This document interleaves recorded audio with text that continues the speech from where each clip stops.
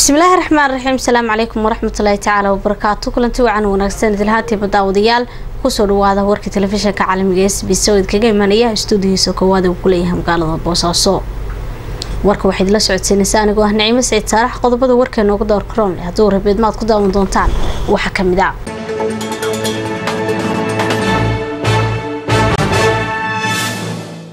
madaxweynaha puntland cabdiweli maxamed cali gaas oo ka qayb galay daahfurka guddiga doorashooyinka ku-meel gaarhka ah puntland.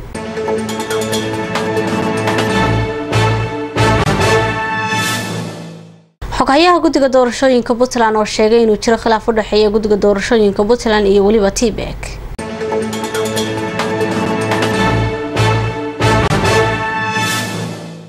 shirka maamul sameynta hiiraan iyo shabeellada dhexe oo lagu ansixiyay dastuurka iyo weliba calanka uu yeelanayo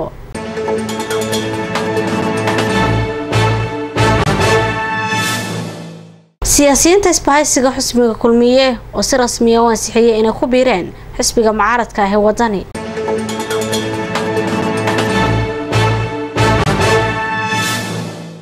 daawadayaal intaasi waxay ahaayeen qodobadii warkeena uga door karoona qodobadaasi weliba qodobo kale faahfaahsan oo ku saabsan geyiga soomaalida goboladiisa kala duwan ayaa daawan doontaan hase ahaatee qadaradeega bulshada. Waa hagaag daawadayaal mar kale kulanti wacan wanaagsan kuna soo dhawaada warkii u faahfaahsan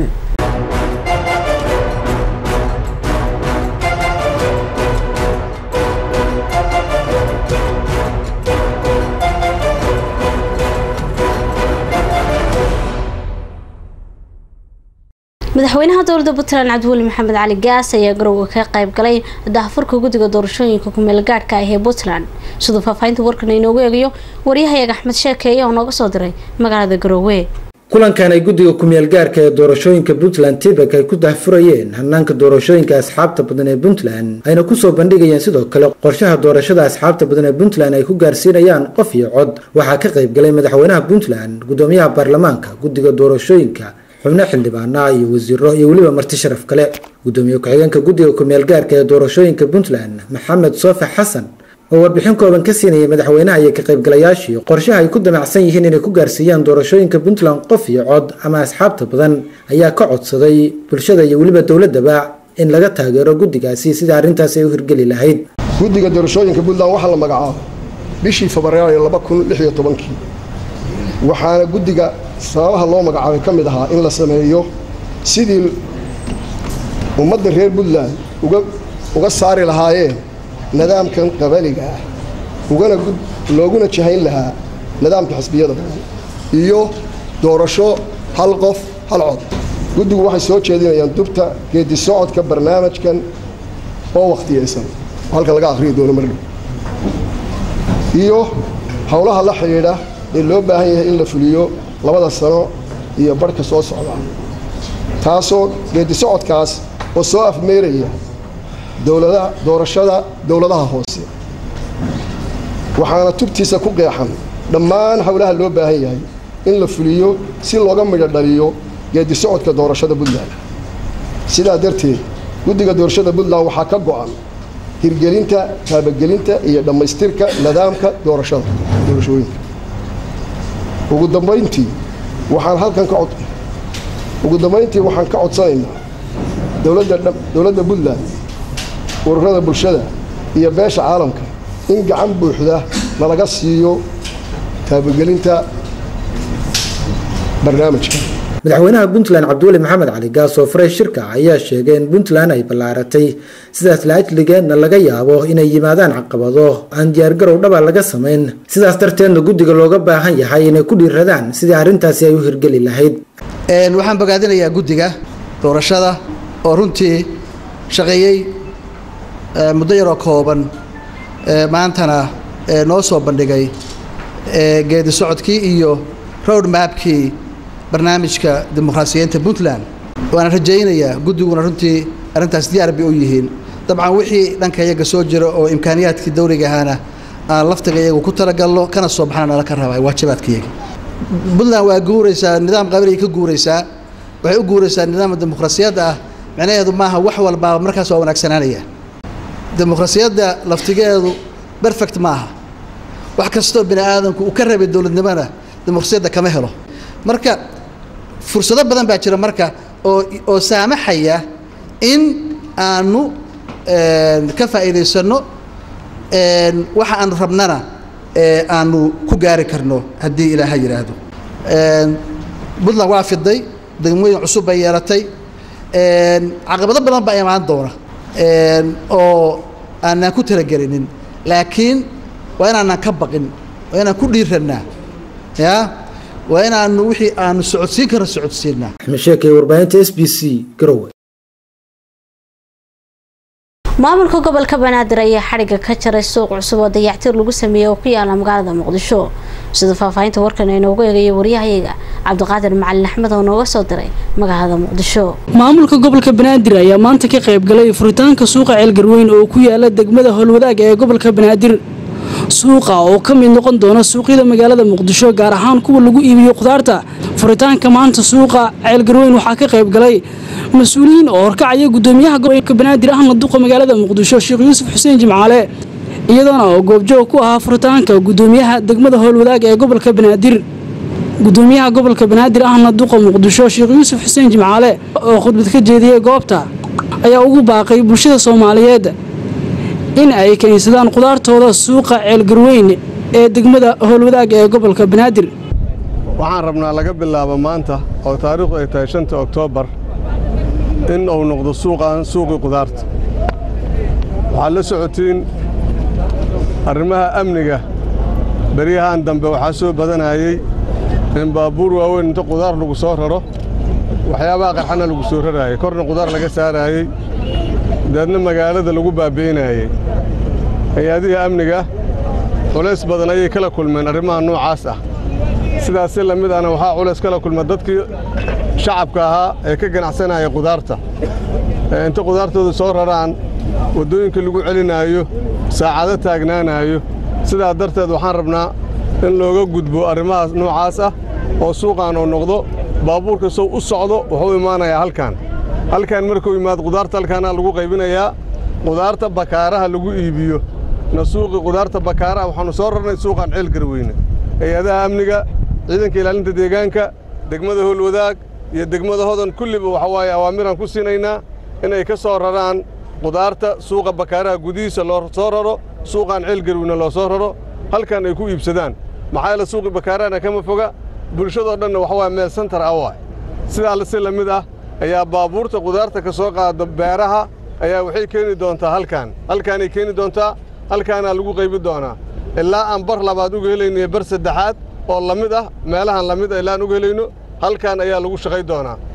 Cabdulqaadir macalin axmed s b c magaalada muqdisho. Shirka maamul sameynta hiiraan iyo shabeellada dhexe oo dastuurka lagu ansixiyey iyo weliba calanka uu yeelanayo maamul goboleedka hiiraan iyo shabeellada dhexe.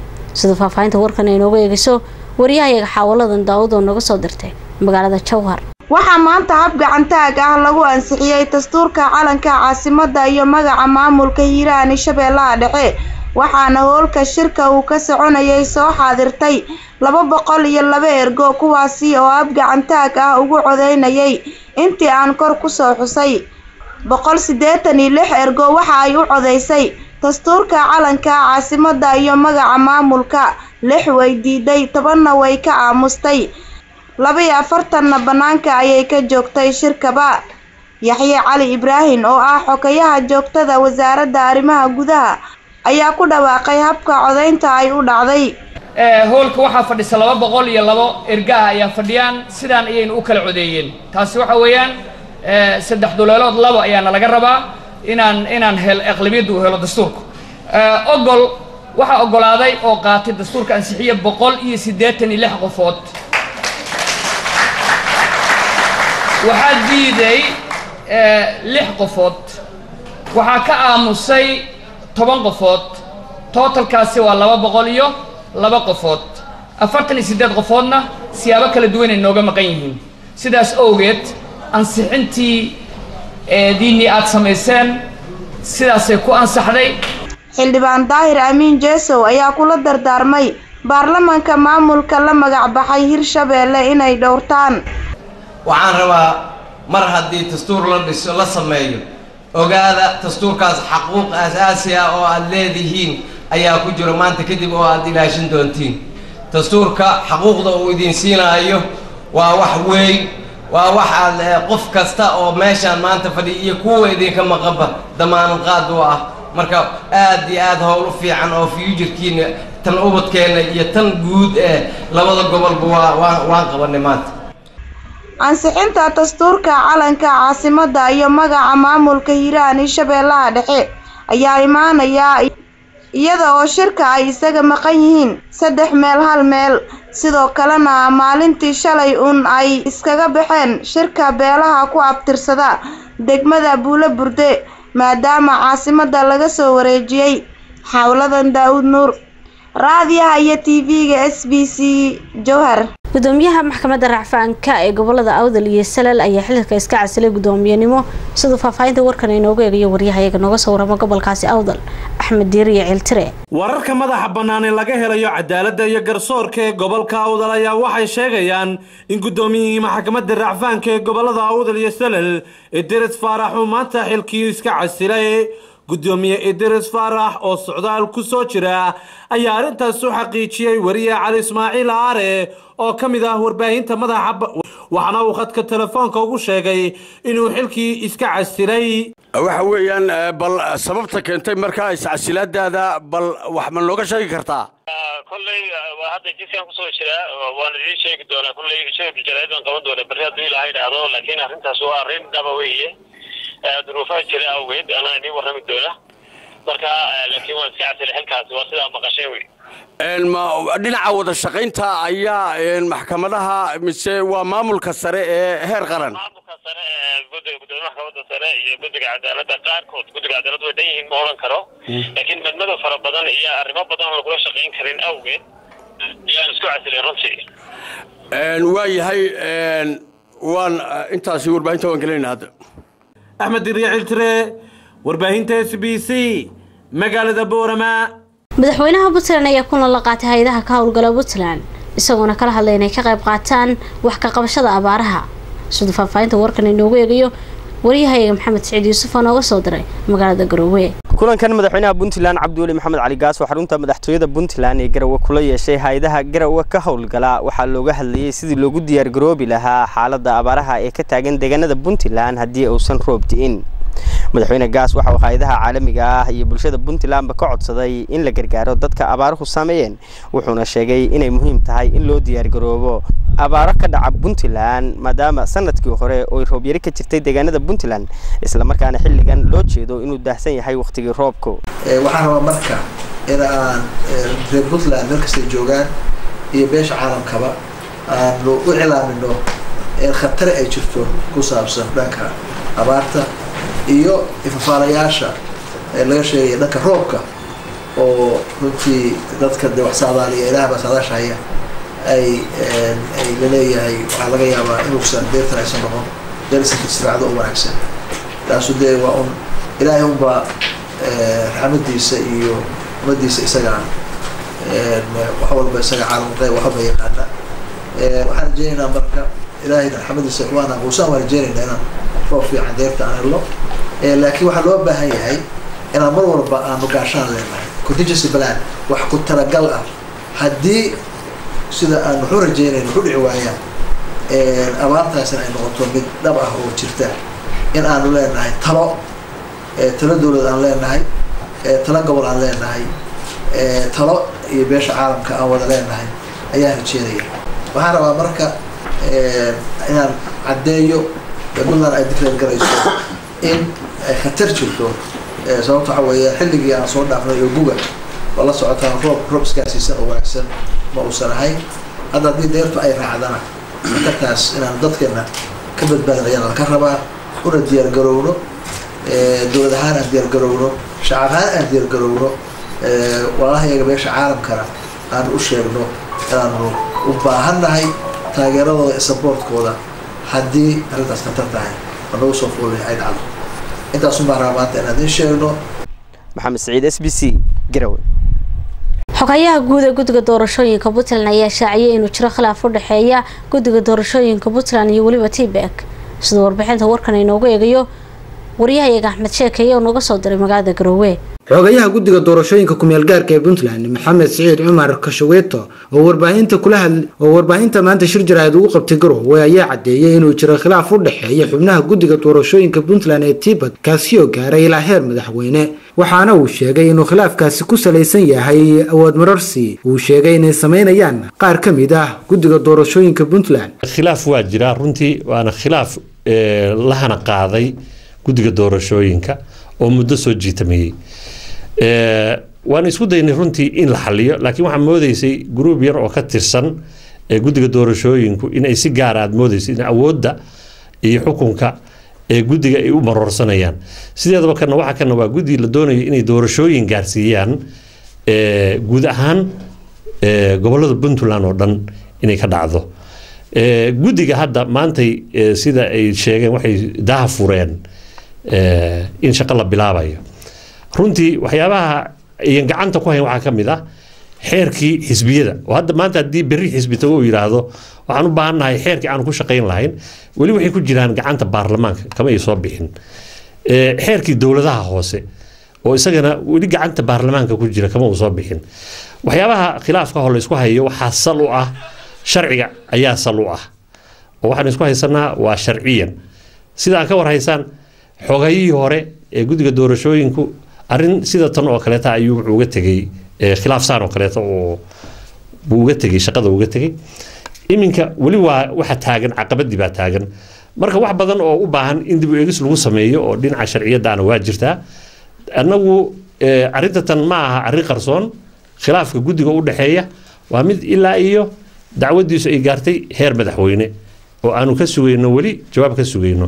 Maxaa yeelay guddiga maanta shirka ay qabteen waa shir uu raad weyn ku leeyahay marka sharciyadda la fiiriyo guddiga doorashooyinka xogayuhu waa inuu isagu uu ku leeyahay raad aada u weyn inuu ku leeyahay wey gebi ahaanba anigu waxba kalama socon. Waxyaabaha waxay ka mid tahay maroorsiga xukunka ah ama khilaafka ah ee ka dhex jira guddiga doorashooyinka. Marka madaxweynahan waa gaarsiinay haddana waa ugu baaqaynaa in sharciyadda la saxo maxaa yeelay sadaqadu waxay ka bilaabataa gurigaaga ayay ka bilaabataa. Haddii aan la sixin khilaafka hadda ka dhex jira guddiga u malayn maayo shacabka puntland inay guddigan ka sugayaan inay gaarsiiyaan doorashooyin xura hadalka xogayaha guddiga doorashooyinka kumeel gaarka ee puntland ayaa imaanaya xilli maanta guddiga oo garowe ku soo bandhigay. Qorshahooda ku aadan sidii doorashooyinka puntland ay ku gaarsiin lahaayeen qof iyo cod. Axmed sheek ee warbaahinta s b c garowe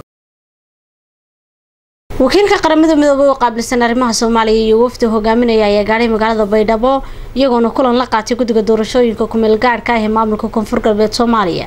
Sida faahfaahinta warkan inoogu eegayo wariyahayaga maxamed cabdicasiis salaad oo nooga soo diray magaalada baydhabo wafdigan uu hogaaminayay wakiilka qaramada midoobey u qaabilsan arrimaha soomaaliya michael kitin markay magaalada baydhabo ay soo gaareen waxay kulamo ay la qaateen madaxweynaha maamulka koonfur galbeed soomaaliya mudane shariif xasan sheekh aadan iyo sidoo kale guddiga doorashooyinka dadban ee koonfur galbeed oo ay kala hadleen. Suurtagalnimada ah in doorashooyinka dhowaan la filayo inay ka qabsoomaan magaalada baydhabo ay ku qabsoomaan amni iyo sidoo kalena ay ku soo dhammaadaan guul. Wafdiga oo daqiiqado kooban kulan albaabada ay u xidhnaayeen saxaafadan ay dibadjoog ka ahayd madaxweynaha la qaatay kadib waxaa saxaafadda si wada the ah ula hadlay wakiilka qaramada to a qaabilsan arrimaha soomaaliya michael keatin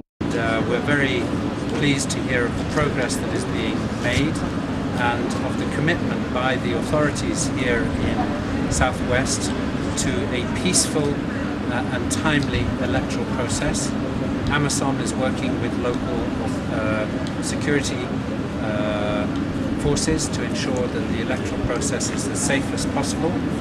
There are a number of challenges that need to be overcome in terms of logistics and accommodation and so on. But I'm very happy to report uh, uh, madaxweyne shariif xasan sheekh aadan ayaa dhankiisa waxa uu ka hadlay kulamadii ula qaatay wufuuddii maanta baydhabo soo gaartay isagoo sheegay in kulankoodii uu guul ku soo dhammaaday waxyaabaha ugu muhiimsan ay kala hadleen wafdigan ay ahayd sidii doorashooyinka wakhtigooda ay u qaabsoomi lahaayeen iyo in maamulka koonfur galbeed soomaaliya uu gacan ka siiyo guddiga doorashooyinka dadban sidii ay u hirgelin lahaayeen qabashada doorashooyinkaas maanta qodobadana arrimaha waxaan ka hadlaynay doorashooyinka sidii loo dardargelin lahaa waqtigii loogu talagalinayo dhammaan lahaayeen runtii aad baan ugu wadalanay meelihii ay noo marayaan oo xaaladda maanta ay taagan tahay u sheegnay aqalka sare ayaa maanta ku ekeed in maanta la gudbiyo liiskiisi ee la isku ogaa inkastoonaan maanta liiska siinin inuuna anagu ka dhamaysan yahay diyaar uu yahay labadaa maalmood gudahoodana aan ku gudbin doono guddiga doorashooyinka waan u sheegnay dadban aqalka sare boqolkiiba soddon gabdho inay noqdaan oo heshiiska uu ahaa boqolkii soddon ay gabdhihay noqon doonaan oo laba kursi oo ka mid ah gabdho keliya u tartami doonaan waan u sheegnay marka waana naga diyaar maalmaha soo socda doorashooyinka guddiga doorashooyinka baarlamaanka doonaan toddobaadka soo socda inaan tan kale guddiga aqalka hoose isaga naftiisana baarlamaanka golaha shacabka isigana dadaal badana ka socdo innaga intaan intaan ognahay hooyinka boqolkiiba saddex meelood meelood waa la dhameeyey inta kalena waa dhamaystiri doonaa waxaan rajaynaynaa in maalmaha soo socda. Maxamed cabdicasiis salaa tv-ga raadiyo s b c baydhabo waa hagaag daawadayaal intaas ayaanu ku soo gabagabaynaynaa warka telefishinka caalamiga s b c oo idinkaga imaanaya stuudiyosa koowaad uu ku leeyahay magaalada boosaaso warka waxaad ila socodsanaysaa anigoo ah naciime siciid saalax. Warkaygu cidduu dhaafo waxay dib uga daalacan karaan bartaanu ku leenahay youtube-ka ee s b c somaali t v. Aniga iyo weliba kheyrtii kale igala qayb qaadatay warka. Intaa warka war lamida ku kulmi doono waxaa idinkaga teginaa asalaamullaahi calaykum waraxmatullaahi tacaala wabarakaatu